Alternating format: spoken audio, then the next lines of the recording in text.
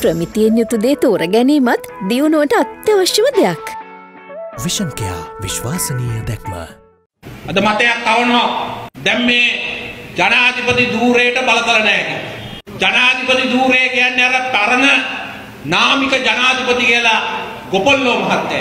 මිත්‍රවරුනි තාමත් මේ ජනාධිපති තමයි 19 වෙනි සංශෝධනයෙන් පස්සේ අත්නෝමතික බලතල අයින් කළාට පස්සේ මේ රටේ රාජ්‍ය නායකයා මේ ජනාධිපති. විධායකයේ නායකයා මේ ජනාධිපති.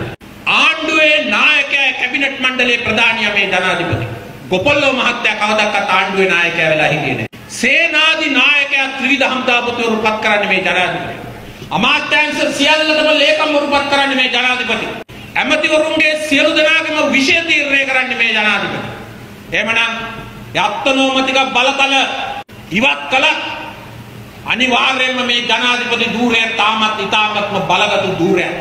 හැබැයි ඒ ජනාධිපතිට තටු නෑ පාර්ලිමේන්තු බහුතරය අහිමි වුණොත්. ඒක නිසා අපි එකපාරම මේ ජනාධිපති වරණයක් ඒ ජනාධිපති වරයාට ඉදිරියට රට ඉදිරියට ගෙනියන්න පුළුවන් පාර්ලිමේන්තුවක් අප සතු කරගත යුතුයි මිත්‍රෝනේ ඊළඟ මැතිවරණය.